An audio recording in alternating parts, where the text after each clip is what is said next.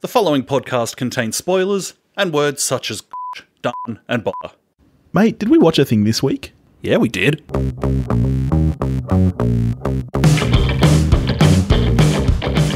Hey, thanks for joining us. This, as you would probably know, is We Watched a Thing.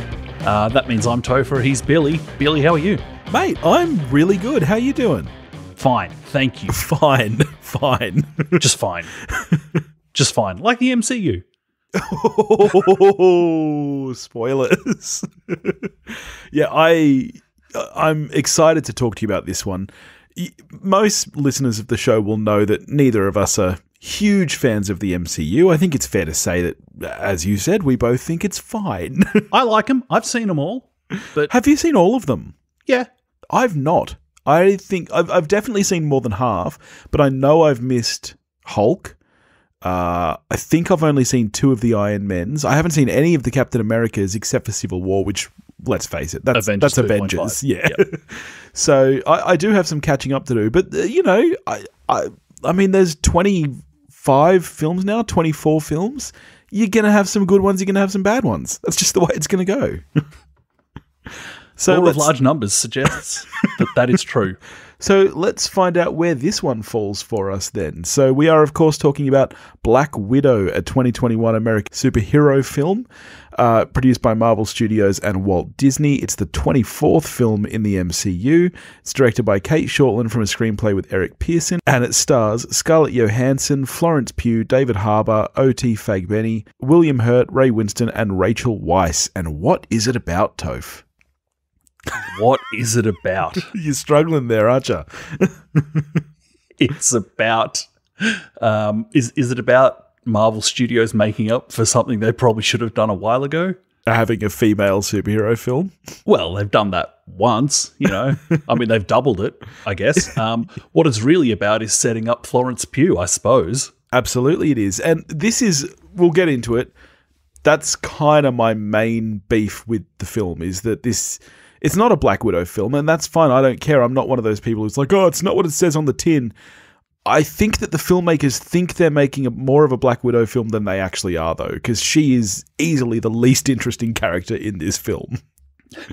but If if you're gonna have a real like if you're a real um, Natasha Romanoff head, then I could imagine you being a bit shirty that you finally get her standalone film, and it's kind of just about her being getting replaced in front of our eyes. Yeah, yeah. I just think, and in I don't know why I actually was kind of excited for this film. This was the first MCU film in a very long time that I was actually looking forward to, and in hindsight, I kind of don't know why because I think that there is an inherent flaw there that was always going to stop this film from being good, and that is the fact that it is a prequel. And we know that the character is now dead. We know that she doesn't die in this film, though. But they're really not doing anything to build this character. The first hour, where it is just Natasha Romanoff, is easily the worst part of the film. And it really picks up for me once we introduce David Harbour and Florence Pugh's character. And I think that that is such a shame that that's the way that this film went. That just Black Widow is boring. She's dull. She doesn't really have anything to do in this film. I think, look, for me, it's not as much of an issue as the fact that we know that a few years from now, in terms of the timeline of this film, she will no longer be alive. Because when it comes to most superhero films, where it's like, well, even though this person or being, whatever, is up against potentially world defeating forces, you know they're going to stay alive. So it doesn't matter when it's the other way.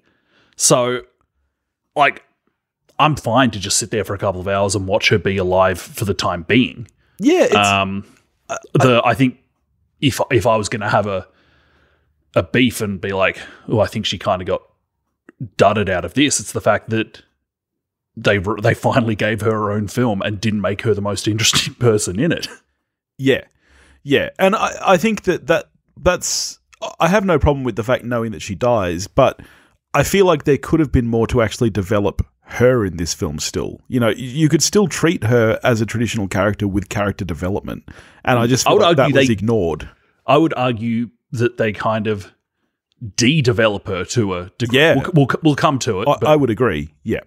where are you on? Where are you on ScarJo? Because I'm, I'm a fan. I know people that aren't, and like, Yeah. and like don't rate her. And I think quite often it doesn't take a lot of unpacking there to be like, have you seen Lost in Translation Uh, or Ghost World. Under the Skin or Yeah. Marriage Story? And invariably, the answers, if if they're not a fan, they're like, nah. And I'm like, okay, well then, shut up.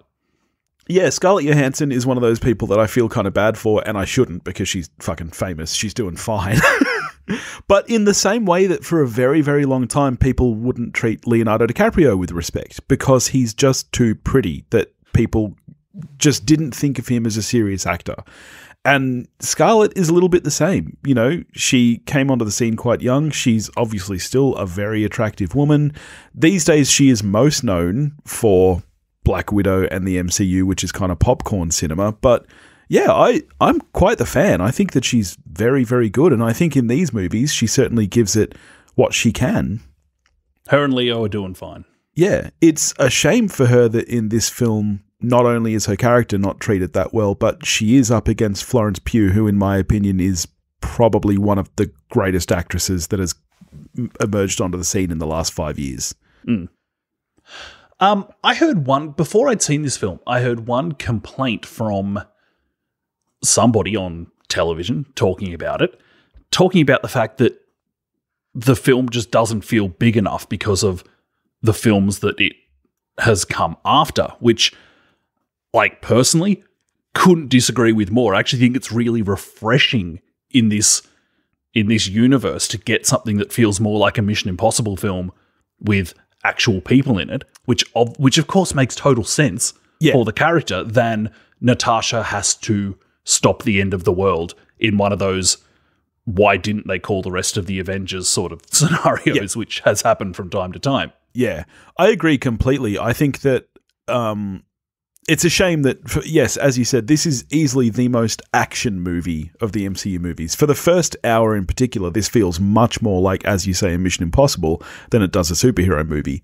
And there is a point where that flips a little, but even in the second half, I think they keep it much more grounded than they perhaps do in other movies. And and I, much like I'm guessing you do, like the stakes. I like that it's a much more personal story.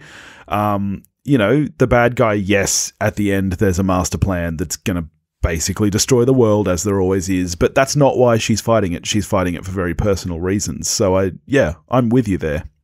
Even the person, like the one character that has superhuman abilities, um, the character played by David Harbour, whose name is Red Guardian. Guardian. Yep. Um, like actually a really, I, I really dug the kind of low key reveal Yeah. of the fact that this guy is Soviet Captain America, basically. yeah. When he Yeah. when he just flips that trailer, and it's not even a, it's not you know wide angle lens close to the ground looking up big hero shot. It's kind of just a observational shot on a reasonably long lens of David Harbour just flipping this thing. It was like, oh, okay, that's okay.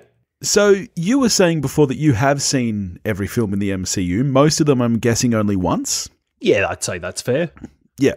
I the don't know. there'd be a bunch I've seen repeated because they're like there's some MCU films that I find thoroughly enjoyable. Um, the first Iron Man film, the first Avengers film, um, Civil War, for instance, I think is a really enjoyable film. I yeah, I'm a big fan of Civil War. However, I have only seen it once, and it did come out now five years ago. This is the first MCU film I've seen where I lost track, where I felt that there wasn't enough. And look, I don't want a film to be bogged down with recaps, not at all. But this is the 24th film, and this is the first one that I felt really just had an expectation on the audience that you would come in with prior knowledge. And for me, I have seen most of them. And the ones that this references and, and comes in the timeline of, I have seen. And yet I still was like, well, hang on, wait, why is she why is she being hunted? Why is she not with the Avengers? I forgot all that stuff for me. And Yeah, I don't like, think there's enough of- explanation around that kind of stuff. I think the I mean they check off on that early on with William Hurt bobbing up to cash a check, I guess. like I, I don't know how many um I don't know how many films they have him under contract for, but it's kind of crazy that that Hurt just bobs up once every three years or something in one of these movies to deliver like four lines. Yeah. It's pretty wild. Yeah. Um, so I was like personally, I was fine with with where we were, and that's being by no means um, a real MCU head.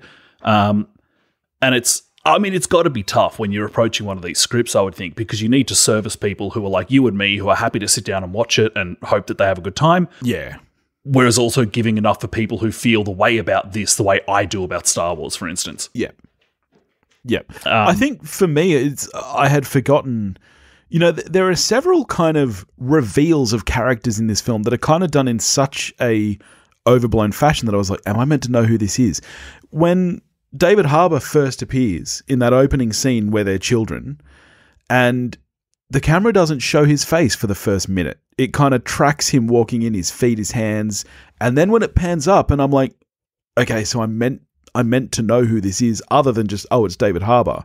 I meant to know this character, and it took me a while to realize no, I don't. This is his first appearance, and I got a similar vibe later on when when Scarlett is being helped by her mate Rick, old mate from *Handmaid's Tale*, and the rapport they have, and this is now taking place five years ago in the past. We haven't seen this guy since. And it's a little bit like, well, this is a weird character introduction here. he is a kind of weird character. It's like he can. It's like wait, this guy's responsible for for this jet super jet that she has. And it's just yeah. we never heard of him before or since. And it's just like okay, Yeah, I believe at one point she says something about him being like a brother to her or something. And I'm like, well, really? Because we've spent 24 movies with you, never heard of this guy. yeah. Also creepy because he's clearly keen as. I mean, yes. yes. Um, got to be said though that if I was going to hide away somewhere, Norway is probably where I would do it. Lovely country. And I loved And it when you Would love to go back. I love that when you watch the end credits, they thank the Norway government. They actually went there for like that one or two shots. Um, more power to them. I would Why happily, wouldn't you? I would happily go back. Um, one thing about the Norway sequence does it track that Natasha Romanoff is the kind of person who would just run out of fuel for her Jenny? No, No, no, wouldn't have thought so. Maybe. Look, okay. Let's let's try and do the script justice if we can. Maybe the baddie siphoned off the fuel. Could happen. Could happen. Yeah, yeah. But it, she she didn't seem like totally shocked. no, she She, she wasn't like, "Where's all my fuel?" At? she was just like, "Oh yeah, I'm out of fuel," um, which makes me think that she just ran out, which I don't see Natasha Romanoff doing. Um, that's where that's where we meet a bad guy who I got to the end of this film without knowing the name of this baddie. Um, do you do you know Which baddie are we talking about? the kind, the one in the almost robot suit? I know only because I read it on the Wikipedia page. that Yeah, it's the Taskmaster. I can't say it without laughing. it's a It really sounds- fucked name. It sounds like something for Austin Powers. See, but here's the thing: is this the first appearance of this villain? I'm assuming that it is. But it's f- as far as my memory goes. This is also the first appearance of the big baddie who's controlling Taskmaster.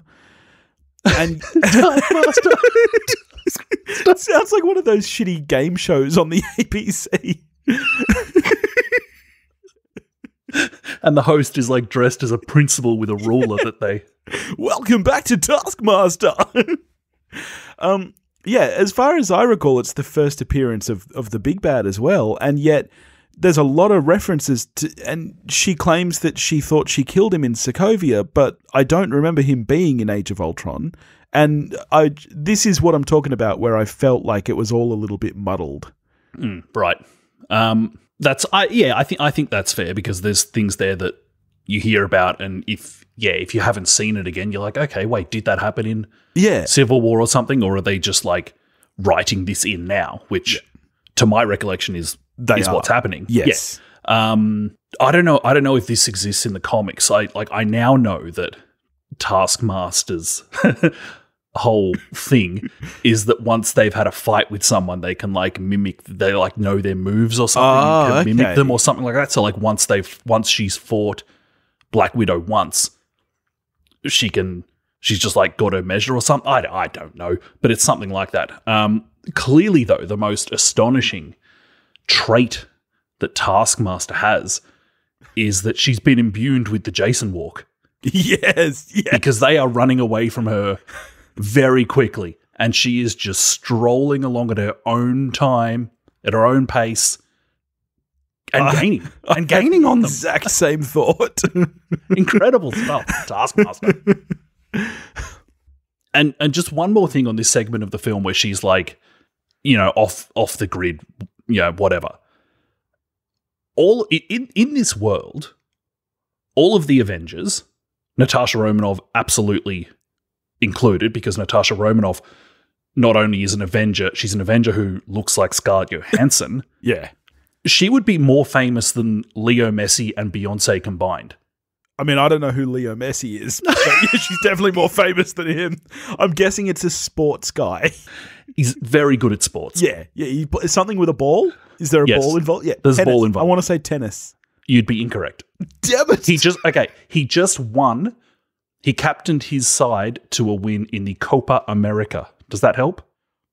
I mean, it helps that now I know it's a team sport. If he captained his side, Yeah. Copa. That sounds like down old South America way. It's it's it's football. It's quite a popular sport. Yeah, yeah, yeah. That's, that was going to be my guess.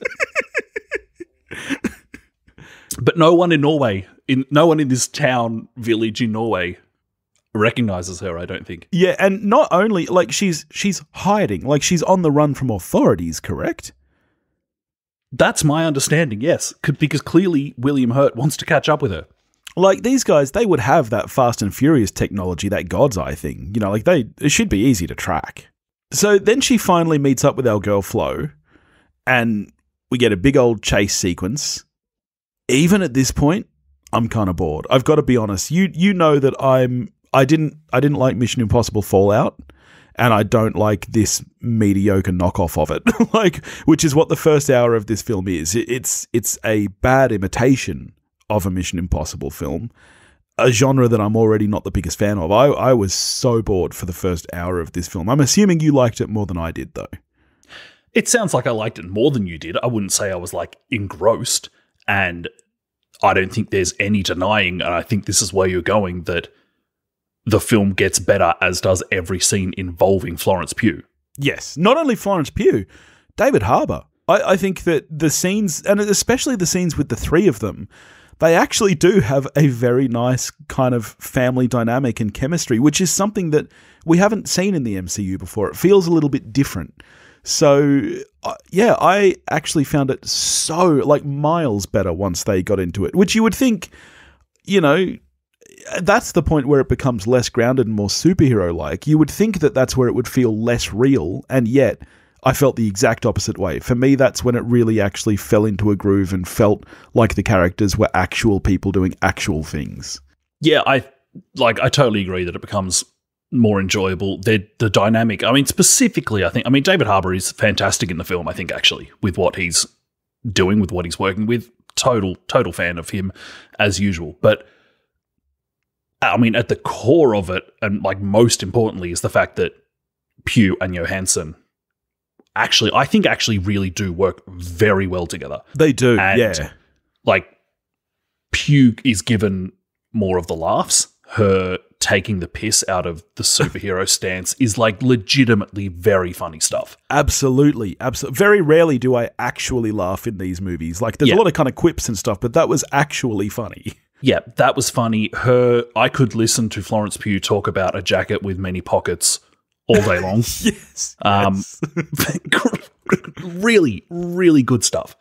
Um, and and while like we've said it, and I think a lot of people agree that Pugh kind of steals a lot of these scenes, I think Scarlett Johansson is just being just a pretty awesome pro in just while she's not like scoring all the points, she's giving Yeah. a lot of assists, if you like. Absolutely, and also I- I think the majority of that comes down to the the screenplay and the direction. As I said, this is not a Black Widow film. Black Widow is not the focus, even for the first hour when she's virtually the only character. She's still not the focus of the story. She's she is not the lead in this film. This is a film about setting up Florence Pugh, and I'm assuming to an extent David Harbour as well. I'm guessing that we'll see Red Guardian pop up again.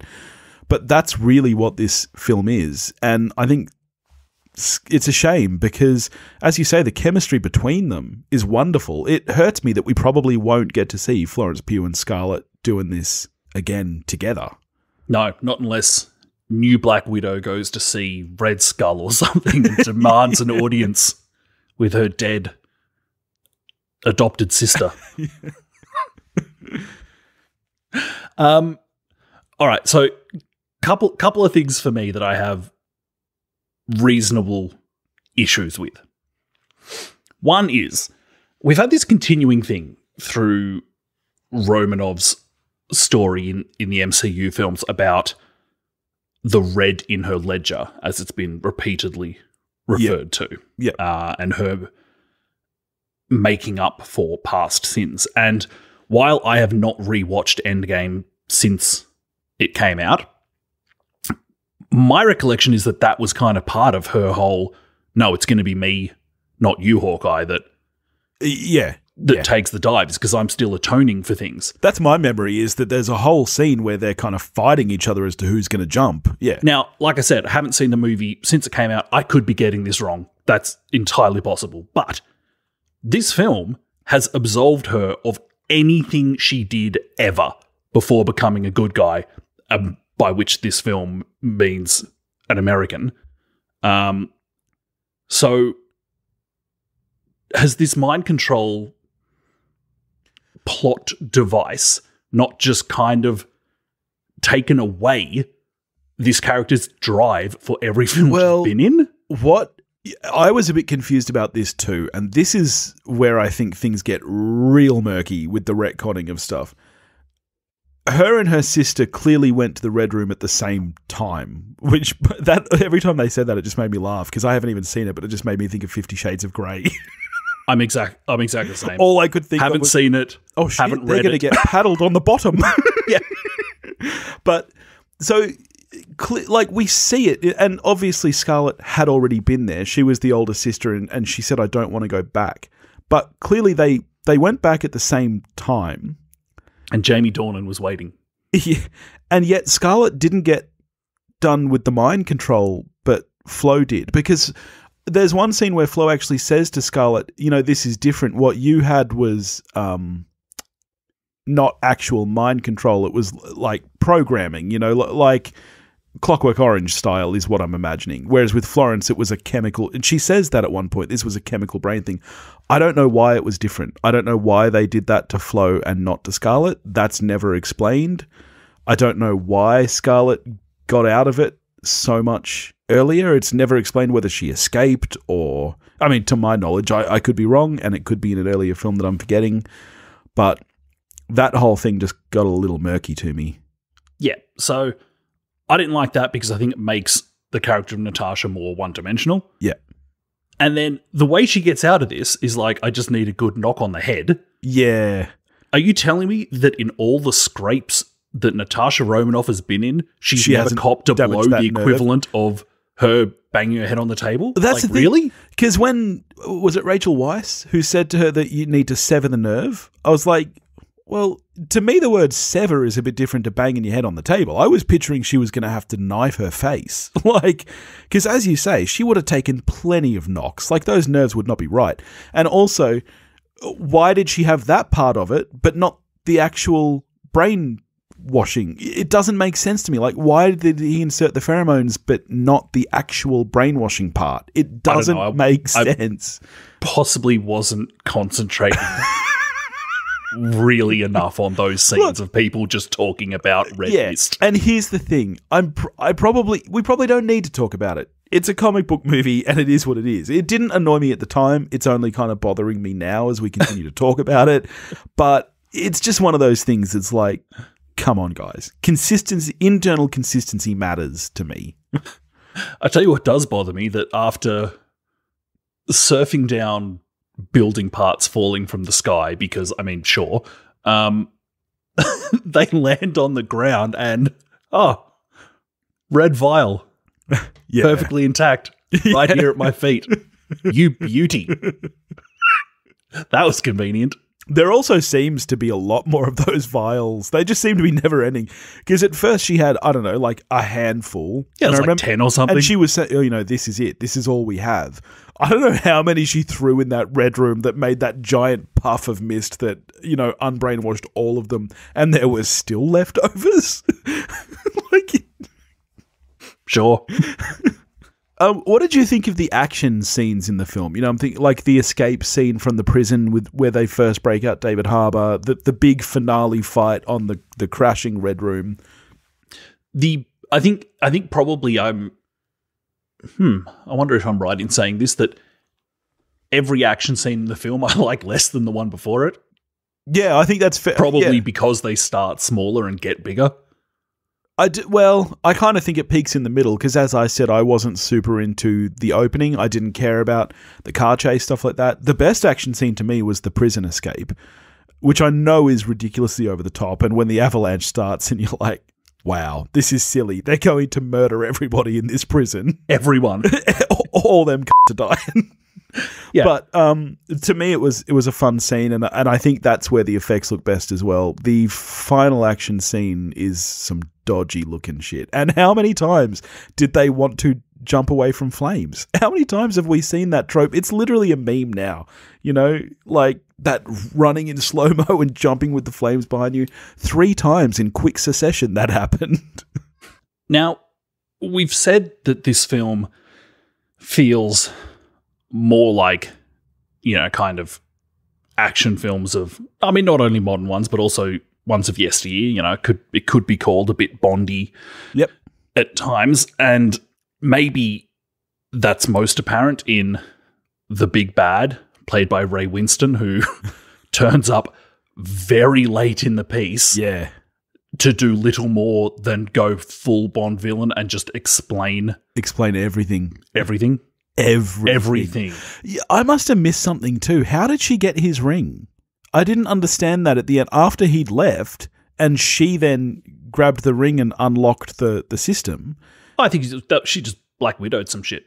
We didn't I mean, that's, see that's it what she's happen though. meant. That's what she's meant to. Well, exactly, exactly. But we as the audience should at least see that and not be wondering, wait, how did that happen? I'm okay with her with her skills being above um our uh, our eyesight to comprehend in in the moment. Like you're a, you're a mad fan of illusions. I do love a good you like you like some sleight of hand. Yeah, I do. Yeah. Um, my like my biggest problem with other than just like what are you doing, Ray Winstone? You're a you are a fine actor. What is going on here? um, is like trying to make me care about the fact that this guy's been like an apparent international puppet master for decades is not going to work when two hours and 10 minutes into a film you have someone just say i've been an international puppet master all this time Yeah. like Yeah. i don't care you've done nothing and nor has this film has done nothing to make me care about that fact Yeah. Absolutely. like whatever just hurry up and die yeah. While we're talking about um, usually good actors turning in less than stellar performances, we haven't talked about Rachel Weisz yet, our gal who I adore. Rachel Weisz, I, lo- I love her very, very much, and she she's still got it. You know, like she turned in some great performances in recent years. This is not And one she's- of them. and she's still got it Oh, oh yeah, I know, well. I know what you mean. Yeah, just slam and hottie.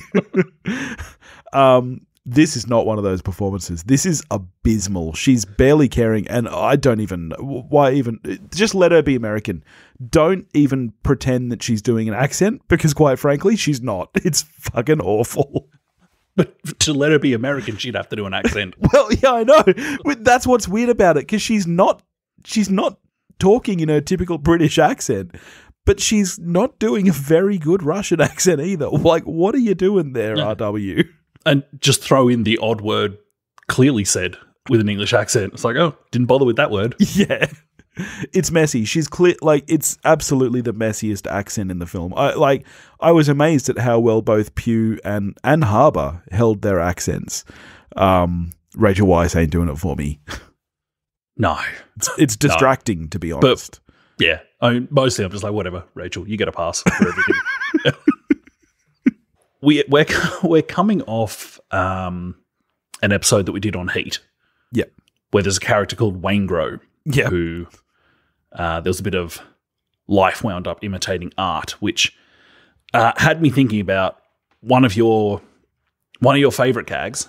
Um, and look, I love it as much as anyone. the the tried and tested didn't, Didn't even know they were filming. didn't even know they were filming. yeah. It's a So classic. I- it's a classic. You can throw it in almost any movie about any character and it's always funny. Well, I would like I would like to test that theory because I'm going to run with this for as long as it works. Which who knows might be one week, or or, or no weeks. Hence, it will only last for one week. Yeah. But let me ask you this, Billy, for the first time: Okay. this film's winner of the perpetual Wayne Grove Cup, That didn't Which even know they were actor- filming a which actor in this film didn't even know they were filming? That's a tough one. You know what? Rachel Weisz. Because clearly they never said role. But if they'd said action, she would have started doing her accent. That's a So wow. So she That is a clearly didn't know feat. they were filming. the first winner of the Wayne Grove Cup is one of the is a modern great. Wow. Oh, this is fun. I think we should do this every week. All right. So, all in all, how are you scoring this? Would you say is this top tier MCU for you? Middle tier MCU for me, um, which is to say a middle tier film. um, it was like, was it a decent enough bit of entertainment to chuck on? Yeah, sure. Will I ever watch it again? Nah. Five out of ten. Yep, I'm a little lower. This is middle to low for me. This is a four out of ten for me. I kind of struggled a little, and I I was struggling between a four and a five purely based on the performances because once Pugh and Harbour came into it, and I feel like Scarlett's performance was lifted as well just by the chemistry at that point. I enjoyed the last hour. The problem is that the first was so dull for me. I just it balanced out, and I ended on a four. So, bit of a shame. All right, what are we getting to next week, buddy? Next week we'll be getting our Soderbergh on with his new heist flick, No Sudden Move. Yes, director HBO Max Soderbergh, No Sudden Move. I'm keen on that one. I know very little about it. I watched the trailer last night in preparation for for watching the film. It's it's just a teaser. You see nothing. It's like it's very stylized. It's it's it's like the you know when a character walks on in a bad movie and it like freeze frames and brings up their name. That's all the trailer is. So Okay. It's just that over and over for like seven different actors. So I have no idea what I'm getting in for there. All right. In the meantime, if you want to get in touch with us, you can do that at wewatchedathing.com or wewatchedathing at gmail.com. You can find us on Facebook, Instagram, and Twitter, all under the handle at wewatchedathing. If you want to help support the show, you can do that at patreon.com forward slash wewatchedathing, and we'll catch you next week. Watch a movie, folks.